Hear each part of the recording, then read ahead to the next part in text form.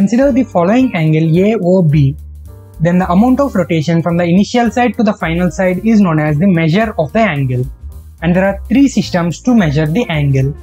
The first is the sexagesimal or English system which uses degrees. A complete circle consists of 360 degrees and every degree consists of 60 minutes and every minute consists of 60 seconds. And then there is the centesimal or French system which uses grades.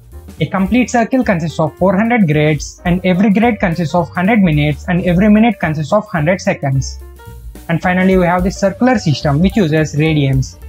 If you project the radius of a circle onto the circumference, then the angle covered by that arc is given by 1 radian. And a complete circle consists of 2 pi radians. Please subscribe to channel to not miss any future uploads. And here's JEE Daily Concepts from 2Pi Academy. See you tomorrow.